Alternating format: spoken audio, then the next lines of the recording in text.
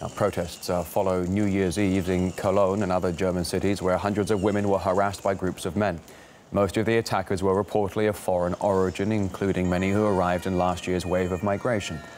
Police told RT they haven't dealt with a crime like this until now. The Federal Criminal Police Office is aware of a phenomenon of jointly committed sexual harassment of women in public, which is called Taharrush Jamaya. Until now, this phenomenon had not been known in Germany. Taharrush Jamaya is an Arabic word to describe group harassment. Uh, the type of crime is uh, usually committed by young men during mass gatherings, such as festivals and demonstrations. Uh, usually an inner circle attacks the victim, while an outer circle distracts the onlookers. Now the politicians are going to wake up. Now the people are going to demand from the government that they stop this crazy politics. We cannot tolerate this. We want our safe equal countries where women can have a public life, and we will not give in to that.